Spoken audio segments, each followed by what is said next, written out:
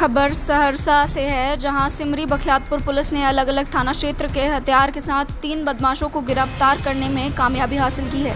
Simri Bakhtiyarpur DSP Mukesh Kumar Thakur ने जानकारी देते हुए बताया कि कनरिया ओपी सोनवास राज और बनमा इठहरी थाना क्षेत्र के बदमाशों को गिरफ़्तार किया गया है। गिरफ़्तार बदमाश में लल्लन कुमार, पप्पू यादव, पंकज यादव शामिल है।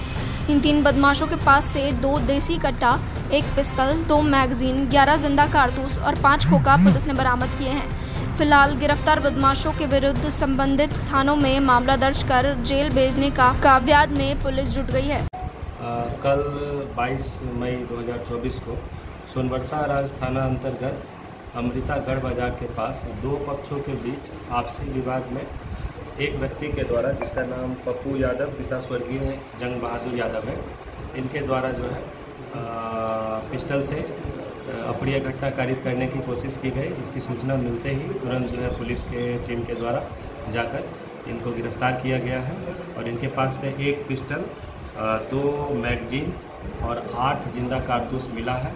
इस संबंध में सोनवर्षा राज थाना कांड संख्या चौरासी चौबीस भी दर्ज किया गया है और कांड में संलिप्त अन्य लोगों को भी उसके खिलाफ भी छापेमारी की जा रही है। और आगे की विधि सम्मत कार्रवाई की जा रही है